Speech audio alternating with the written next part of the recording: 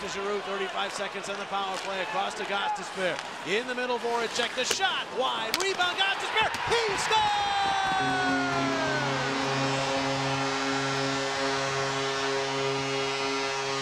Relentless pressure on the power play, and Gostisbehere ties it at one. You just stay compact, and the Flyers closed in. Killer instinct right here. That's the best way to say it, Bill. Killer instinct. They stayed with it. And more importantly, as this game goes on, they really tired out four important Dallas Stars on that penalty kill for them as well. Capped off with a great goal by Shayne Gostisbehere. That's a really, really excellent, diligent work ethic paid off for by the Flyers.